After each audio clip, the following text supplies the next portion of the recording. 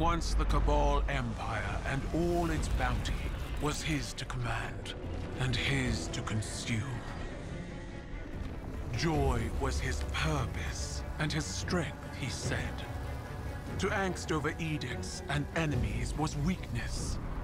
But I could see in his eyes dread that his pleasures would soon come to an end, clouding his sight from an incoming coup.